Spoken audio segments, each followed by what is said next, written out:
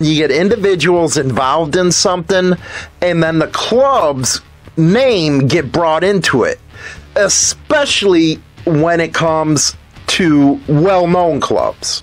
We're going to be talking about this Devil's Disciple uh, fatal stabbing. A guy just uh, pleaded guilty, and then the news: the a guy who got stabbed, they said was a Hell's Angels affiliate.